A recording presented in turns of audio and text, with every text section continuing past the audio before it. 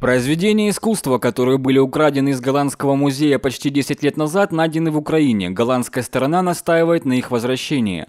Я обращаюсь к жителям Украины, у которых находятся похищенные ценности, а также к тем, кто располагает сведениями об их местонахождении.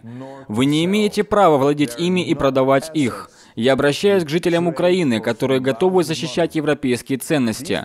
Помогите вернуть произведения искусства их законному владельцу, музею Западной Фрисландии в нидерландском городе Хорн. Речь идет о 24 картинах и 70 предметах из серебра 17-18 веков.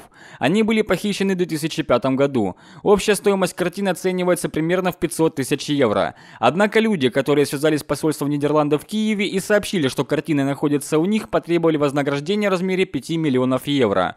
Музей Западной Фрисландии командировал на Украину своего сотрудника, искусствоведа Артура Бранда, чтобы тот договорился об условиях сделки. По его словам, состоялась встреча с Борисом Гуменюком, заместителем командира батальона ОУН, но он заявил, что готов вернуть картины Нидерландам не менее чем за 5 миллионов евро. Артур Брандт предложил Гуменюку более скромную компенсацию за произведение искусства, однако тот не согласился на компромисс. Впрочем, искусствоведу удалось выяснить, у кого хранятся картины. По информации голландского культурного деятеля, судьбу картин решает председатель правоэкстремистской партии «Свобода» Олег Тягнебок.